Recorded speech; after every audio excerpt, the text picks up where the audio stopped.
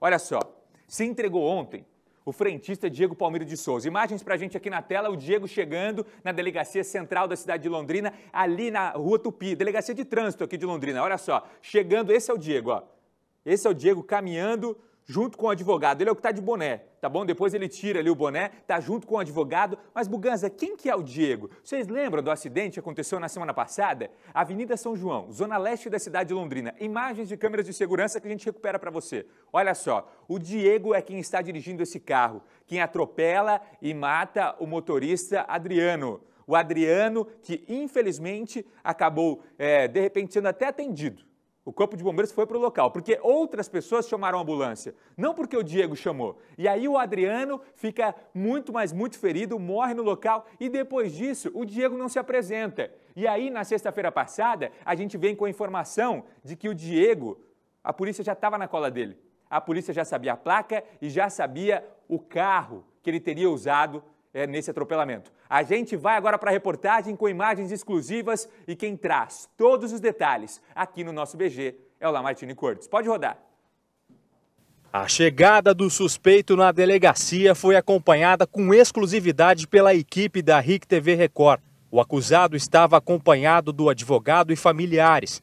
O depoimento ocorreu a portas fechadas e durou mais de duas horas.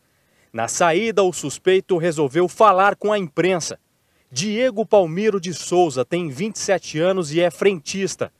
Ele contou a versão dele sobre o que aconteceu, orientado pelo advogado. Tranquilo, você vai dar entrevista para todos que estão aqui. Pode falar.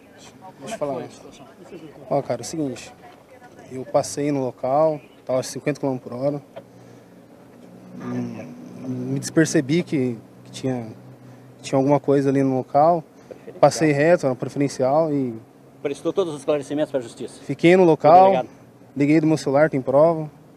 Tô sendo um homem, tipo, sou trabalhador, igual todo mundo. Tô chocado porque não tem passagem, não tem nada e aconteceu, cara. Fiquei no local todo momento, não che... ambulância, tudo.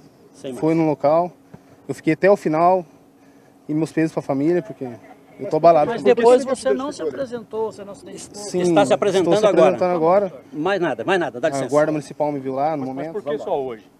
Cara, você não sabe o que, que é um acidente. Bora, bora, bora. Dá licença, dá licença. Dá licença. O carro que Diego dirigia na noite é este.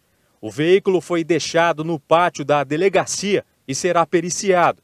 Segundo a polícia, na noite do atropelamento, Diego voltava de um bar na zona sul da cidade. Ele estava acompanhado por um primo aqui no carro. Um tio seguia ao lado, mas em outro automóvel. Ele afirmou para nós que trafegava por uma avenida, pela Avenida Máximo Pérez Garcia, e no cruzamento com a Avenida São João, ele distraiu e não parou. No momento em que atravessava a vítima, ele acabou colidindo o seu veículo contra a vítima. Ele falou que bebeu energético, ele e as duas pessoas que estavam com ele, um primo e um tio. Mas esse é objeto de investigação nossa para ver se efetivamente não bebeu né, algo que continha álcool. Ainda de acordo com o delegado, no depoimento, Diego disse que um guarda municipal teria visto ele parar metros à frente, junto com o tio. Ele afirmou para nós que não fugiu, que ele parou logo à frente, que o tio que havia parado no cruzamento para esperar o pedestre passar, o tio estava em outro veículo, o tio veio até ele logo em seguida e disse: Vou buscar mais ajuda.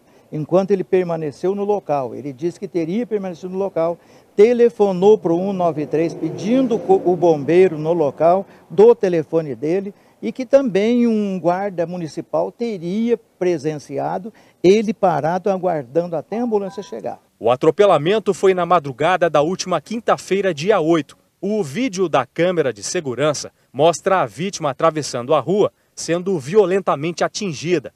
O carro estaria em altíssima velocidade. Adriano José Keffer, de 35 anos, morreu na hora. Diego de Souza foi indiciado por homicídio culposo quando não há intenção de matar. O que me estranhou também é o fato dele ter habilitação apenas de 2015 para cá.